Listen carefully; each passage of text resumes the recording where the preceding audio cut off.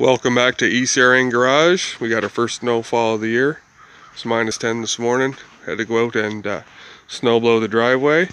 Broke one of the shear pins off, so I couldn't find any. So the best thing I could come up with was this galvanized nail. Drove that in there. Works perfect till I can get some new shear pins. It'll do in a pinch.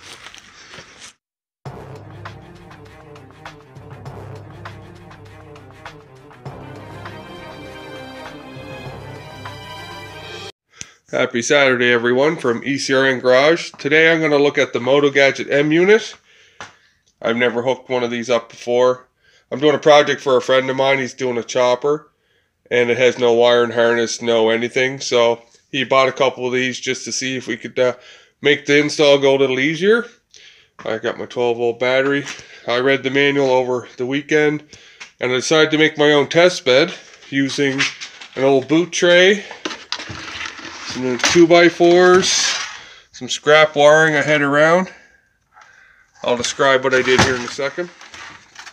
So I did had some old trailer lights, boot tray, switches.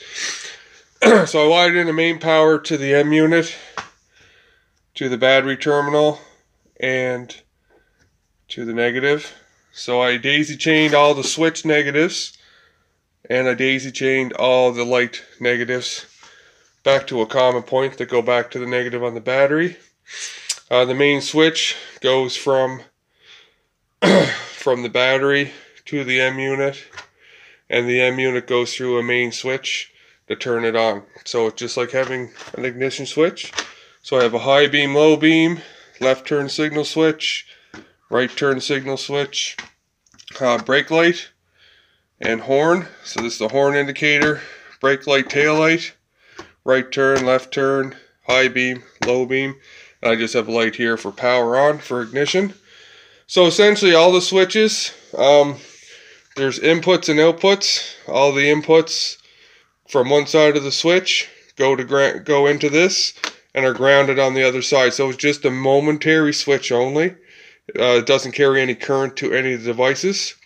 The output, the power does come from this terminal to the output to the lights, ignition, horn, signals, whatever you have. so it's a pretty basic setup. Um, you can read all the terminals here. It tells you which ones go to which for your input and your output.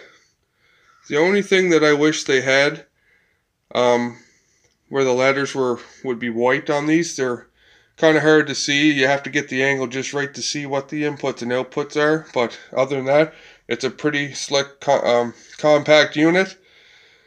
Uh, every output is good for 10 amps, and I think the output for your starter relay is good for 30. You wire it in with a 40 amp uh, fuse on the main side.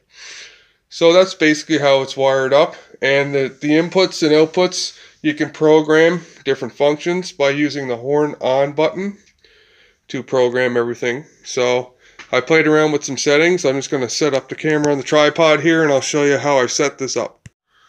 Alright, first I'll hook up my battery. I just got the battery out of my Buell here. So I'll hook up all the, the two negatives. I have one from all the lights and switches and then one from the Motogadget unit itself. I'm not sponsored by Motogadget. We just something we seen some of the bike builders using, we thought we'd give it a try to help simplify our own projects. And if I was ever to build a bike that had no harness or no any fuses or anything, I'd be getting this. But they're a bit expensive. But if you have a bike that already has a full wiring system, I wouldn't uh, recommend uh, spending the money. This is great for a custom build, cafe, bobber, if you don't have anything or you have one that's fried already. I would definitely use this. So I got, right now I got the power on. the, the unit lit up as you make battery contact. So I'll turn my ignition on switch. The M unit cycles through and it shows anything that's active lit up. So right now the it shows your ignition is active. So that would I would hook your coil to that and then your coil will be on with the key. This is just my indicator light that says that the board is powered up. And also, the right turn lights, I have them set at 50%, and they act as riding lights. so uh, the way I have this programmed, I turn the lights on, the low beam comes on, and the tail light, I have it hooked up as a one wire tail light. So it gives 50% power to the tail light bulb on one wire. And if I switch to high beam, it's just a single push button. My high beam light comes on, everything stays on. Low beam, everything stays on. Um, if you had an old style switch, you have to program it through the menus. Um, the Motogadget book has a, it's pretty easily, it's a, it's well written and easy to figure out. You just kind of have to, once you get your head wrapped around how the menu works, you can program this thing to do all kinds of things with very minimal wiring. So if I want to turn my lights off, I just hold in on the headlight switch and I can turn the lights off except for the driving lights. Key off, driving lights go off. So I'll turn my low beams on. So my right turn signal, I just have it flashing and it cancels the driving lights just on a same as a modern bike. Push button, it's a single push button. Left turn signal, same thing. Flashes, it's meant to have a momentary switch, but you can program to have the old toggle style switch. Brake light, I have it flashing eight times and then goes on solid. You can have it to flash all the time slowly. You can make it just come on as a normal brake light. But it's just like a little attention getter when you first put your brakes on. And then the horn button, just the light simulates the horn. So, in order to program this thing, what you do is you hold your horn button on, turn the power on, and it'll go through and flick all the lights and go into programming mode when it's flashing. So now you're in programming mode. So the toggles through the main menus, which it tells you in the book which each one are, you can change the settings. So you, every time you click the horn button, it toggles to the next menu item all the way through till you get back to the start. And to change a menu item, you hold the horn in till the, this light flashes on the other side, and that's your sub menus. So you can go through all of your sub menus the same way. And then to reset, you just hold your horn on until it flashes through, turn your horn off, and then the, the M unit will scroll back to its starting position again. So if anytime you're ever stuck in the programming, just hold your horn button on for three or four seconds till it goes through its mode, and then it'll restart from zero again. Worst comes to worst, turn the power off, turn it back on. You got all your functions working again. So anyway, that's the little test bed for the M unit. Uh, I can't wait to get this hooked up on the actual motorcycle we're doing. It's going to be pretty fun. I might make a little better test bed. I got some old lights and stuff here, but this was just a quick and dirty to get this up and going, and so I get my head wrapped around what we got in front of us. And uh, looks like it's going to be a really great thing to use.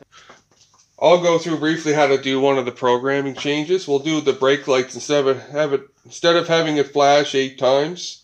Um, we'll just have it as a continuous brake light. So it's menu four, brake light configuration in the manual and right now it's set to D. So I'll turn the horn on with the power till it cycles through into programming mode. So now we have program menu number one. So I'll click it four times, menu number two, menu number three, menu number four. So that's the horn, or the, sorry, the brake light configuration menu. And I'm on A, B, C, D, which is eight times flashing. I think I'll go to E. So if I hold the horn button until that mode flashes on the menu side, I click it one more time. Now it'll be two times flashing, then one second continuous light repeated. So to, to save that to memory, I hold the horn on. It cycles through all the lights. I turn the horn off. And now I should be back to run mode. So now when I turn everything on, I'll have my headlights on, tail light comes on. So now my brake light, when I hit that, it just flashes one second. So it does two at the start and then one second continuous from then on. Then it goes back to normal mode. All right, now we'll change the brake light back to a continuous light. So hold the horn button, turn the main power on, cycles through. Now we're in calibration mode, so we want to go to number four, one. So now we're three, four, and we want to go to A. So you hold this till it switches over, and we'll switch this back to A. It didn't hold. One, two, three, four. And then we're back to A. One, two, A, B, C, D, E.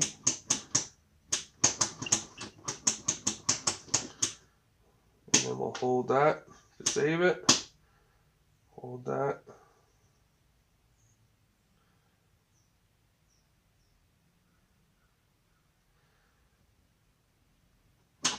Alright. So now it should restart. So we'll turn our headlights on, tail light comes on.